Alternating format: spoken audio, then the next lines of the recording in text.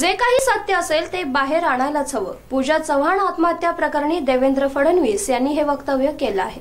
पुणे पोलिसांनी तात्काळ कारवाई केली पाहिजे. या प्रकरणातील तथ्य बाहेर काढलंच पाहिजे. जे काही सत्य असेल ते बाहेर आणायला हवं अशी प्रतिक्रिया देवेंद्र फडणवीस यांनी व्यक्त केली होती.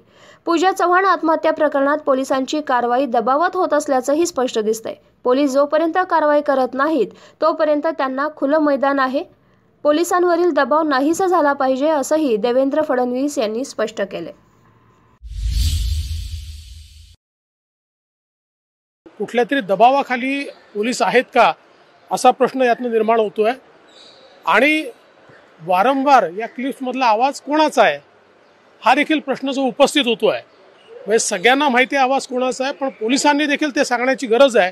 पण तेही पोलिसांकडनं लपवलं जात आहे मला असं वाटतं की या प्रकरणात पोलिसांची कारवाई ही कुठेतरी दबावाखाली आहे असं स्पष्ट दिसतं. त्यांनी राजीनामा द्यायला पाहिजे कारण की ती कॅबिनेटमध्ये मंत्री आहे आणि त्यांचीच पोलीस चौकशी करत नाही म्हणूनच पोलिसांनी जोपर्यंत या संदर्भात कारवाई पोलीस करत नाही तोपर्यंत त्यांना त्या ठिकाणी खुलं मैदान आहे. पहिल्यांदा पोलिसांनी या संदर्भातली कारवाई केली पाहिजे गुन्हा दाखल केला पाहिजे आणि हे खरंच आहे. की अशा प्रकारचा गुन्हा दाखल झाल्यानंतर कॅबिनेटमध्ये राहून चौकशी होऊ शकत नाही. आणि म्हणून मला असं वाटतं की कुठेतरी हा जो दबाव आहे पोलिसांवरचा तो दूर झाला पाहिजे. त्या संदर्भातला गुन्हा दाखल झाला पाहिजे.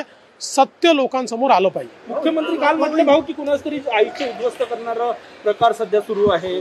नाही मुख्यमंत्र्यांनी हे प्रकरण किती गांभीर्याने घेतलं आहे हे मला लक्षात येत नाही.